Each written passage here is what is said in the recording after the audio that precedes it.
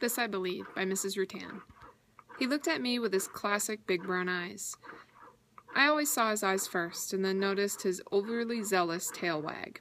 His entire body swayed back and forth with excitement. He panted and flashed his goofy grin. I had just spent a grueling ten hours at work. The air conditioner was broken, I was a sweaty mess, and my school bag was flooded with paperwork. I was in a bitter mood as I fought with my keys to open my back door, but my dog didn't care. He was always there, happy as ever, and overjoyed to see me. Once again, this lovable pup we named Edgar lifted away the bitter from my day as I reached down for his slobbery kisses.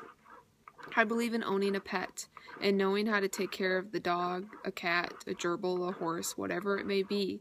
While some pets are more expressive than others, the fact is almost all of them can show you unconditional love and loyalty. Reality is, people can hurt you in more ways than one, and while there are many good people in the world, the love and loyalty they may have for you can always change and sometimes even take a tragic turn. Pets are different.